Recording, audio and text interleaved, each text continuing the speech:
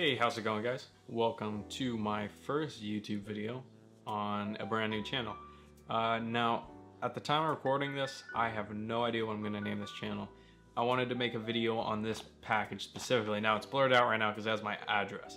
The reason why I'm recording my address and then editing it out in post-production is because I'm pretty sure I got scammed. This is going to be somewhat of a proof to eBay so I can get my $65 back, I think. I'm gonna flip this over so I can show you guys exactly why I think I got scammed. Uh, so this is the listing and, or this is the listing that I bid on and that I won. And as you guys can tell, there is that slight scratch on the bottom right. Now, that's not like a big deal. I don't really care as long as it's really sealed. So, you know, had the serial number, everything looked legit, had the pull tab in this picture right around here. And I thought it was fine until after I won the auction and I paid for it, I checked out the person's profile and look what they have up for bid right now. This is uh this is on bid. So $43 starting bid. And would you look at that? That is the same exact scratch as in the last one. And it's even the exact same picture of the pull tab in the person's hand and the same picture of the back, it's just missing the serial number sticker. I do not have super high hopes for this. I'm, like I said, I'm really recording this just for eBay's uh, return policy. And I'm hoping if it is a scam, I will get a refund. Probably, probably should have used a better knife for this. Okay. Let's put this off to the side. Hmm. I'm gonna try and determine whether or not this is this is fake um, or real. Some criteria is that it has to have the same serial number sticker as the one that I paid for. If it's anything different, I probably got scammed. Second criteria on top of having the serial number sticker that I paid for, the actual device has to match the serial number that is on the box. If there even is one. Let's uh, let's open this. I mean, they, they packaged it pretty nice. I'll give them that. I did contact them and I'm like, hey, I thought it was a little bit strange that you posted the exact same listing that I bought, but without the serial number. And then they said that they had multiple of them. So hope, I'm really hoping this is real because it'd be so awesome to unbox a, a device that came out. I think this one came out in 2000, what, 2000, 2010, yeah. Starting off, let's drop the camera down a little bit. This, I don't think is is the one that I paid for. Let me check the serial number real quick. Is that even gonna focus? So the serial number on this one is C23D. And the one that I seem to have paid for starts with DK. Okay, I didn't get what was pictured, so maybe, you know, the person really just did have multiple of these and sold them for uh, 50 bucks. That would be pretty cool. It's a little, the box is a little more busted up than advertised, but not a huge deal. Now, maybe they just had a stockpile and gave me one with a different serial number, and that's fine as long as it's real. Now, another criteria to tell if this thing is real is if there is any contamination. I'm talking about a single fingerprint on the screen. I'm gonna be super suspicious. It is, it is, it is pretty beaten up, but like I said, that's okay. I'm gonna search up the serial number real quick.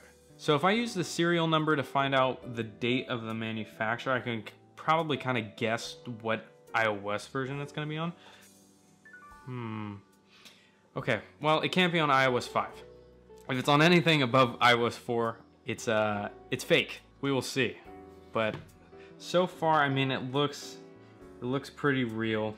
This iPod has been sitting in this box for 12 years, 6 months, and 10 days.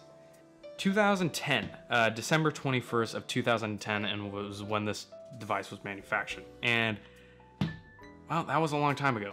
Uh, I think at the time I was maybe, yeah, I was about seven years old. That's interesting. Um, maybe it's just been baking in the sun for so long that perhaps it's stuck to it, but, oh, well. Yeah. That's interesting for sure. Um, I'm not really even sure how to do the proper unboxing because that pull tab, oh, that was my fault. I was supposed to, okay, obviously I've never opened one of these. I pulled that wrong. That's my mistake. Um, let's see. Wow, that that kind of ruins it. Yeah, all right. No. Okay, all right, there we go. There we go. Ah, let me let me smell it. Wow, that that, oh, that smells old. It's uh, it's looking up from here. I don't know how to describe that, but it, it does smell old. Oh my gosh, wait, I, I gotta inspect for fingerprints here. Um, by the looks of it,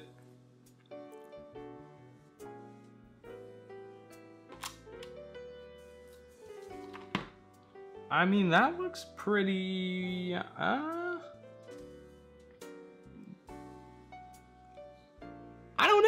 Uh, honestly, I cannot tell. I cannot tell you just just yet. I'm I'm telling you though, the real determining factor is whether these serial numbers for one match up and two the iOS version that it's on. Yeah, like I said, I've never owned one of these. I'm not really sure how to go about this, but before I even try and destroy that, let's let's take a look at what we have inside. Fingertips, yeah, wow, okay, slides off, and let's take a look at these. That's the thing I always liked about Apple devices is just the fingertips. I will say the font looks pretty good. This is just the product information stuff. And what the hell? Do the iPod stickers look, these Apple stickers are really small. Hold up, let me, I mean, maybe it's possible that the, it would make sense, I guess, if the iPod Touch had a different Apple sticker, but I didn't know that was the case. I guess this is weird. These two devices came out pretty similar time. I mean, I guess it is for a smaller device, so it makes sense. Um, I'm gonna put that off to the side. I'm gonna, I'll deal with this iPhone 5 later. Uh, yeah, fingertips, Apple stickers, product information, very cool. Earpods, or, yeah, just, these are, these are called earpods, right? There was, well, these sucked. I hated these, wearing these. They're, they're so uncomfortable. They're not very ergonomic for the ear. I much prefer the newer style, like, you know, the AirPods and the EarPods. I, I think this was well worth it so far. I, I mean, it seems legit. I, I, can't really knock it on any point, especially since I have really no experience. I've unboxed many Apple products, but never an iPod Touch. I just, I just never had one. So yeah, I'm probably gonna whiff this. Uh, I'm gonna try, oh my God, I'm getting my fingerprints on it. I'm gonna try and do this properly. It says pull down, so I'm gonna assume I'm supposed to pull down. And that's a very, that's a very Apple-like sensation right there. I've unboxed fake AirPods before that try to mimic the Apple. How the hell do you get this out? I don't even under, am I missing something? Hold up, it don't, okay. Told me to pull down, and then what else do I do? I, oh, oh, I see, I see. I'm, a, I'm still a little bit skeptical because of the price. I mean, wow, I hate that I did it like that. That felt absolutely terrible. And am I really gonna have to, no shot, okay. Am I gonna have to pull it up like that? I don't wanna do that. I don't think that's right. Wow, okay, this is a completely new experience for me and this is 12 years old and it's beating me. Hopefully you guys are able to hear this. Wow, that feels way too difficult. I, maybe, am I supposed to do it from the bottom? Okay. Wow, I've completely botched this, but that's okay. Just yank it off. Wow, that is stuck, but, I mean, jeez. Like, I'm not the strongest guy, but that felt, that felt pretty unnecessary. That was, that was a lot of force, but man, oh man, look at that. Okay. I'm actually super excited now because this is real.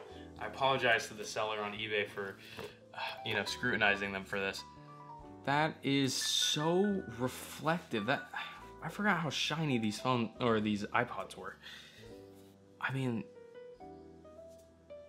it's pretty unreal, honestly. There's, I have an iPod Touch 3G that I bought secondhand and it is scratched all to hell, but this is this is beautiful. Oh, what is that? I want to say maybe it's just residue, but there is this like, almost kind of looks like a scuff. Ah, let's try and power this on. And to nobody's surprise, this thing is dead. I cannot get over how awesome it looks. I don't even know if I want, I have, I was gonna say I was gonna try and save the accessories, you know, keep them in their original wrapping, but honestly at this point, why not? Why not get the full unboxing experience? Okay, so bad news. This thing is dead. So I plugged it in my PlayStation, which I think was about maybe three watts. It would boot up, you'd see the Apple logo, and then it would die. And then it would show the Apple logo again, and then it would die. I then plugged it into a 5 watt USB brick, and it turned on. It showed the iTunes Restore logo. So I let it charge for maybe 15 20 minutes just so it could have a little bit of battery. But unfortunately, when I unplugged it from the wall outlet, it died. And when I went to go plug it into my computer to restore it with iTunes, it never turned on. And I was just like, oh, well, you know, maybe I gotta let it charge for a little bit longer. I had it plugged in to a wall outlet for like four days, almost five days, and it is still dead. So I put it back in its original packaging or wrapping or whatever you call this. I did my best. I, I tried putting it over the stove a little bit to get out these air bubbles, but there's no passing that off. Not like I would even try. It's just nice to uh, keep the original packaging, especially since I can't do anything else with this. I kind of assumed it wouldn't be perfect. Uh, I wish it didn't come to this, but hey, at least I do have a iPod Touch 4th generation that has a pristine housing. Um, the silver is reflective as hell and it's shiny and that's not something you see a lot anymore. So definitely something cool to go into my collection. Unfortunate that I couldn't get into the device and show you guys around. I think iOS 4.1 maybe. I really wish it worked out differently. But if you guys want to see me do a review of the iPhone or of this iPhone 4S in 2023, it's running iOS 6.1.3. It's jailbroken. Let me know. I'm gonna load it up with all my favorite games from my childhood. I already got Flappy Bird and Minecraft Lite on here. I'm thinking of Angry Birds, stuff like that. I want to do just kind of like a walkthrough of this device. So if you want to see that, let me know down in the comments. Thank you guys for watching. I've officially decided in this past week to name this channel Apple Archive because it just makes the most sense. I have so many Apple products I don't know what to do with, so why not make videos about it? Hmm. Anyways, thanks for watching guys. See you later.